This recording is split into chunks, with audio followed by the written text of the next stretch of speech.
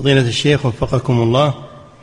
هذه امرأة من خارج هذه البلاد تسأل فتقول إنها قد تزوجت واكتشفت بعد زواجها أن زوجها فاسق ولا يصلي إلا الجمع أحيانا. أن زوجها فاسق ولا يصلي إلا الجمع أحيانا ويشرب الخمر.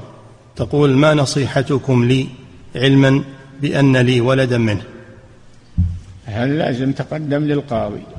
إن ما نتعرض للعقود هذه لازم تقدم للقاضي وتقيم عليه دعوة. فإذا ثبت ما تقول فالقاضي يفرق بينهما. نعم. إعداد مشروع كبار العلماء بالكويت. أعزها الله بالتوحيد والسنة.